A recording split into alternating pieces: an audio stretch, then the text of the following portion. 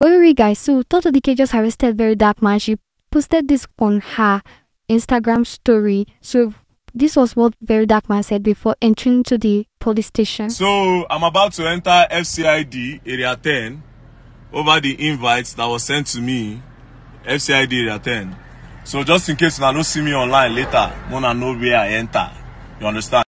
So Tonto is yet to see the reason for the arrest. So we are wondering what Very Dark Man might have done this time or what he might have said this time. So guys, tell me in the comment section what you think he have done to warrant this arrest. Do you really think he deserves it? Or you think Tonto overreacted?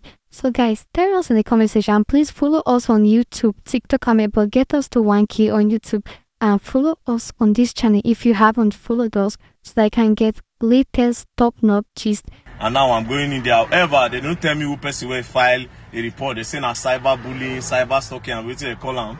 You understand? Against me, number one, I know I've never sent anybody an email. I've never DM anybody to say anything harsh or say anything negative to the person. So I don't know where they are getting that idea. For me, for me, I'm suspecting something. I feel like I'm not safe in it. But then again, to the person that sends this, just hope that I hope you understand that I'll find out who you are you understand? They will definitely tell me who you are. You understand? So whatever plan I get, I don't really tell una. If I don't see me, I ask them.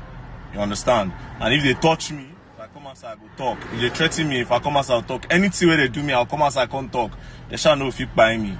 You understand? And like I said, if now all those kind of things be say they won't do, me person can apologize online. I know they apologize to anybody. I go rather sleep inside there for 10 years. You understand? Knowing fully well that I did not say anything to anybody. All the things I've said online is based on public importance of public awareness. You understand? I've never gone out of my way to start picking one person and start bashing. Everything I've said online is based on public awareness.